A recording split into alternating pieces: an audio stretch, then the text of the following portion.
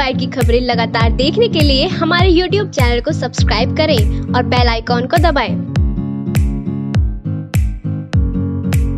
इस खबर के प्रायोजक है जैना ज्वेलर्स आबुलेन मेरठ। दबंग युवकों द्वारा चेहरे पर यूरिन पास किए जाने से भले ही पीड़ित युवक डिप्रेशन में चला गया हो, लेकिन पुलिस को इससे क्या? वह तो इस संबंध में दर्ज कराई गई रिपोर्ट में भी खेल करने से बाज नहीं आई। तहरीर में, युवक का अपहरण कर जंगल में ले जाने व मुँह पर पेशाब करने का उल्लेख किया गया था, लेकिन जब रिपोर्ट दर्ज की गई तो इनमें से दोनों ही संगीन धाराओं को दरकनार कर दिया गया। परिजनों का खुलकर आरोप है कि रिपोर्ट कुछ इस तरह से लिखी गई है, जैसे मामूली मारपीट की घटना। इसमें अपहरण व अमानवीय कृत्य का कहीं भी उल्लेख नहीं है। ऐसा आरोपियों को लाभ पहुँचाने की नीयत से किया गया है। यह वाक्य तेरह नवंबर का है, लेकिन अब चेहरे पर यूरिन पास करने का वीडियो वायरल हो जाने के बाद पीड़ित परिवार सामने आया है। उसे पुलिस में जाने पर इसी वीडियो को वायरल करने का डर दिखाया गया था। जिन लोगों ने इस कृत्य को अंजाम दिया है, उसमें अवि शर्मा, निवासी जेल चुंगी, आशीष मलिक, निवासी अजंता कॉलोनी, राजन जागृति विहार, मोहित ठाकुर, निवासी सोमदत्त विहार को नामजद किया गया है। इसके अलावा तीन युवकों को अज्ञात दर्शाया गया है। पहले देखिए चेहरे पर यूरिन पास करने की वह वीडियो। बोल थोड़ी सी मारे वीडियो मुझे बना रहा है ऐसी कर दो यार भाई प्लीज़ यार हाथ जोड़ रहा हूँ यार तेरे भाई मलिक हाथ जोड़ रहा हूँ मोहित भाई क्या। हो नहीं रहा भाई है? ये ये हो रहा है आ,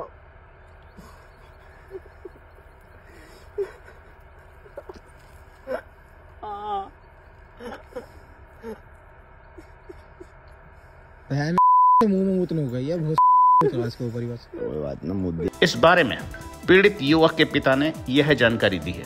बाबू जी क्या नाम है आपका? करण चौधरी।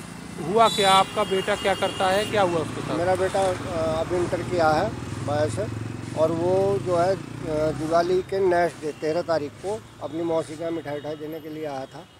रास्ते में कुछ लड़के मिले उसे उन्होंने उसे उठा लिया। उठा कर जंगल में जागृति यार टेंशन में ले गए उसके साथ मारपीट की उसके मुँह में पेशाब किया। और जान से मारने की धमकी दी। लड़के की इतनी पिटाई की है कि बहुत सदमे में अवसाद में है एकदम वो क्यों किस पे शक है आपको और क्या वजह है? सब चार लड़कों पर जो जो उन्होंने पहचान लिए उन चार लड़कों के नामजद रिपोर्ट की मैंने मेरी रिपोर्ट में भी खेल किया गया था। ज़्यादा कोई धारा नहीं लगाई गई अपहरण नहीं लगा कुछ नहीं लगा। अच्छा। उसके जैसे मारपीट किया तो मतलब कोई वो नहीं है बस सीधे सिंपल धाराओं में जिसमें बाहर से बाहर अपना क्या करता है बेटा? बेटा पढ़ता था अभी इंटर किया था उसने। ठीक अच्छा। और जो उसके साथ के किसी की पहचान हुई है जिसने हाँ चार लड़कों की पहचान हुई। कौन थे? क्या करते हैं? कुछ पता चला? बदमाश टाइप के हैं पहले भी जेल जा चुके हैं ये लोग। इस बारे में एसपी सिटी पीयूष सिंह ने यह बताया। 13 नवंबर 2023 को थाना मेडिकल क्षेत्र अंतर्गत मोहल्ला जागृत विहार में एक युवक के साथ कुछ व्यक्तियों द्वारा मारपीट की गई थी और मारपीट के दौरान ही उक्त युवक पर यूरिन पास भी किया गया था। इस घटना के संबंध में पीड़ित युवक के पिता की तहरीर पर थाना मेडिकल पर समुचित धाराओं में अभियोग पंजीकृत किया जा चुका है तथा मुख्य आरोपी को गिरफ़्तार किया जा चुका है। अग्रिम विवेचनात्मक कार्रवाई थाना मेडिकल पुलिस के द्वारा संपादित की जा रही है। इस खबर में फ़िलहाल इतना ही। आप देखते रहिए फ़र्स्ट बाइट डॉट टीवी नमस्कार।